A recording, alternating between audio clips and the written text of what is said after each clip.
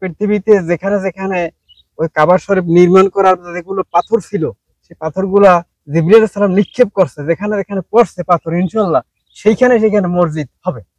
ইনশাল্লাহ এখানেও আশা করি হবে। হ্যাঁ আমরা সেইখানেই আমরা দাঁড়ানো আছি। হ্যাঁ সবার সহযোগিতা আপনি ভিডিও করতেছেন। আপনি তো ওই দু ঘণ্টা আগেও জানতে পারেন। আমিও কিন্তু জানি না যে মসজিদের কথাবার্তা হঠাৎ করে এই মসজিদের কথা উঠল। এই যে মসজিদের কথা তো শুনলেন তো এখন কেমন হবে বলেন? ভালো হবে একটু নামাজ পড়তে গেলে তো আপনাদের ওই পার যেতে হয়। তো এখানে হলে অনেক সুবিধা হবে? অনেক সুবিধা নাকি বাচ্চারা পড়বে আপনারা নামাজ পড়বেন। ভালো এখন সবাইকে নিয়ে আপনার বসে একটা মিটিং করবেন। মিটিং করে কত দ্রুত ভিডিওটা করা যায়। করার পরে ভাইদেরকে জানাবেন জানাইলে কাজ শুরু হবে ইনশাল্লাহ। ঠিক আছে? আলহামদুলিল্লাহ। দর্শক শুভেচ্ছা জানাচ্ছি পালের চর জাজিরা শরীদপুর থেকে।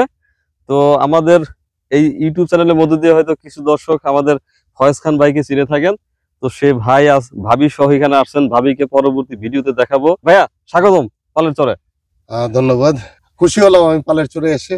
ভালোই লাগছে দেখে দৃশ্য। এবার হাত বার কথা বলব। হ্যাঁ, হ্যাঁ। তো ভাইয়া আসলে আপনি তো সিলেটের একেবারে আমি তো আপনার বাড়িতে গেছি শহরের মানুষ আপনারা। তারপরে ইংল্যান্ডে যেখানে থাকেন সেটা তো একদম মেন শহর।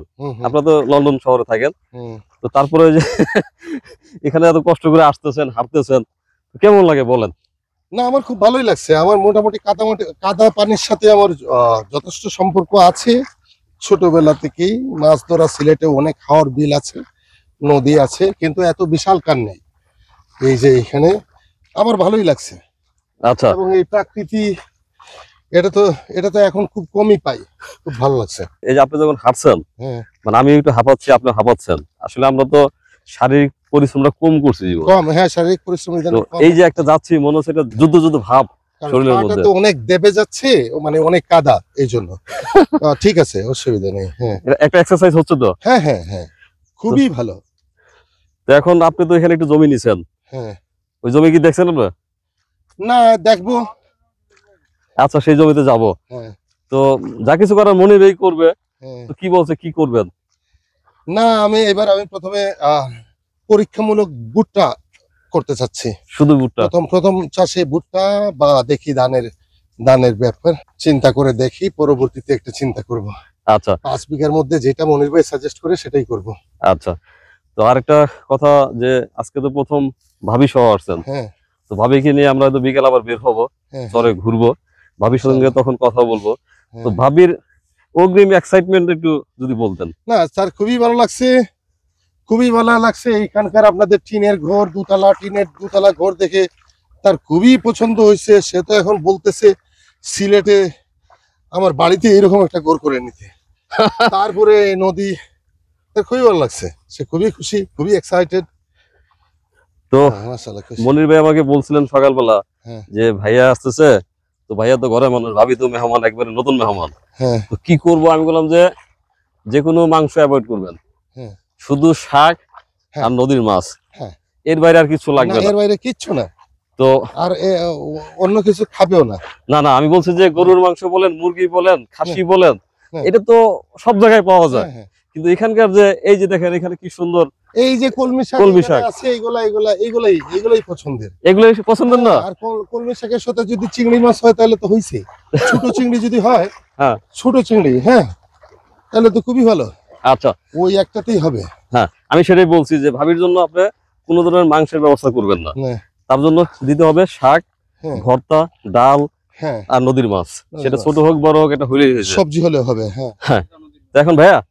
এখন যতটুকু আমি তো আগে জানতাম না তো অলরেডি একটা খুব সুন্দর একটা উদ্যোগের কথা শুনলাম আস্তে আস্তে। সেটা হচ্ছে যে এখানে একটা মসজিদ করতে যাচ্ছেন। তো একটু যদি বলেন কীভাবে আগাচ্ছেন? না ব্যাপার হচ্ছে এই আমি জানছিলাম প্রথম যখন ওই যে মনির ভাই আপনি সিলেটে যখন গেছিলেন জি। তখন কোথায় প্রসঙ্গে শুনেছিলাম যে এখানে অনেকগুলা ফ্যামিলি থাকে অনেক লোক থাকে কিন্তু মসজিদ কিন্তু কোনো মসজিদ নেই। তাই চিন্তা করলাম যে একটা একটা মসজিদ এখানে করব। আর এখানে তো খুব অবস্থাশালী মানুষ না একসাথে অনেকগুলা টাকা করে খরচ করে একটা মসজিদ তৈরি করে নেয়ার অ্যাবিলিটি এই চরের মানুষের হয়তো হয়তো এখন নেই। হয়তো নেই হ্যাঁ। নেই। তো হ্যাঁ, আর থাকলে তো তারা যুদ্ধ করতো না এবং তাদের যদি এই এই মসজিদ নির্মাণ করার টাকা যদি থাকে তাহলে তার ঘর করবে। তা গরু কিনবে তাই না? হ্যাঁ হ্যাঁ হ্যাঁ। তো এই জন্য চিন্তা করলাম যে একটা মসজিদ আমি বল- বলছিলাম মনে করে যে একটা মসজিদ আপনারা বিটা রেডি করেন আমি একটা মসজিদ করিয়ে দেবো। তো ওইভাবে আপনার মানে চিন্তাটা তো আল্লাহ তালা আপনার এই ইচ্ছাটা পূরণ করুক। আর বেসিক্যালি দর্শক অনেক হাঁপায় গেছি কারণ হচ্ছে যে আমি কিন্তু না আমি কিন্তু অনেক খাপাইনি একটু ঘামছি একটু একটু একটু ক্লান্তি লাগছে। বরং এখন হাঁটতে আরও ভালো লাগবে ভাই এই যে দেখেন এই যে এই বাড়িটা হয়তো নতুন করছে। তো ওনারা এখানে যে জীবন সংগ্রাম করে যে টিকে থাকবে কিন্তু এখানে সবচেয়ে আনন্দের বিষয় হচ্ছে খোলামেলা। হ্যাঁ হ্যাঁ। মানে এর চেয়ে আনন্দ কিছু নাই। অত্যন্ত বিউটিফুল তারপরে ধরেন যে তাদের রিজিকের ব্যবস্থা আল্লাহ তালা কিন্তু মানুষ এখানে থাকে একটা ব্যবস্থা হয়ে যায়। হ্যাঁ। এই যে জাল নামছে হয়তো এখানে আরও কিছু করবে কয়টা হাঁস পালবে মুরগি পালবে আস্তে আস্তে কিন্তু তার কিন্তু জীবন যাপনের মানটা হয়ে হ্যাঁ, উন্নতির দিকে যাবে। তো যদি এই যে এলাকায় কিছু ঘর বাড়ি আছে আমরা তো খামার করছি যদি আপনার যদি একটা কন্ট্রিবিউশনে আল্লাহর রহমতে যদি একটা মসজিদ হয় তো সেই ক্ষেত্রে আমাদেরকে আর ওই পারে যেতে হবে না। দর্শক এই যে ফয়েজ খান ভাইয়ের সঙ্গে যে মসজিদের কথা হচ্ছিল সেই জায়গায় এটি। তো ভাই আপনার নাম কি? আমার নাম আয়নাল হক। আইনাল হক। তো এখানে এই মসজিদের জন্য যে জায়গাটা দেওয়ার কথা সেই জায়গাটা কতটুকু? এই জায়গাটা হলো আপনার ষোলো হতে সতেরো শতাংশ শতাংশ হবে। শতাংশ হবে। শুরু হচ্ছে এখানে? এই যে হ্যাঁ, যেখানে এখান থেকে শুরু করা এখান থেকে ওই যে খাড়া। ওই জায়গায় ওই যে না? হ্যাঁ হ্যাঁ ওই পিলারটা আচ্ছা ওই পিলার থেকে আর এদিকে? এদিকে এই যে রাস্তাটা পর্যন্ত এদিকে? হ্যাঁ হ্যাঁ এই যে রাস্তা। আচ্ছা। এই যে এটা সোজা করে? মানে এই জমিটা আমি বলি ওই যে খুঁড়াতে শুরু করে একটু অ্যাঙ্গেল আছে না? অ্যাঙ্গেল দিয়ে। ধরেন এই যে এই যে আমি দাঁড়াইছি। এখান থেকে এই পর্যন্ত। এই এতটুকু জায়গা? এখান থেকে উ ছাগল আছে না? ও। ওদিকে ওদিকে যাবে। ও ছাগলের ওদিকে যাবে আবার। ওখান থেকে শুরু করে আমাদের এই পর্যন্ত হচ্ছে এই জায়গাটুকু। এখন আপনাদের এখানে কয়েকটা ঘর আছেন। হ্যাঁ। তো এই যে ভাই আমাদেরকে সহযোগিতা করবে এখানকার জন্য তো ভাইয়ের জন্য আপনাদেরও তো ভালোবাসা সহযোগিতা লাগবে। আপনাদের জন্যই করতেছেন। উনি তো দেশ বিদেশে থাকেন তো মনিবের সঙ্গে যদি কথা বলে বুঝলাম আপনার এখন যে একটু ভিডিওটা আপনারা করে ই করলে সুবিধা হয় আর কি। আপনার আপনার যে কজন আছেন মিনমিশ করে ভিডিওটা উঁচু করে দিবেন। হ্যাঁ এরপর ভাইয়ের সঙ্গে কথা বলে এটা ইনশাল্লাহ দাঁড়ায় যাবে। কেমন লাগছে বলেন? এই জায়গাটা তো না ভালো মাসাল্লাহ এখানে একটা মসজিদ নেই, এখানে অনেক ছেলেফেলেরা থাকে। বছরে অন্তত নয় মাস। তারপরে কেউ কেউ তো স্থায়ীভাবে সারা বছরই এখানে থাকে।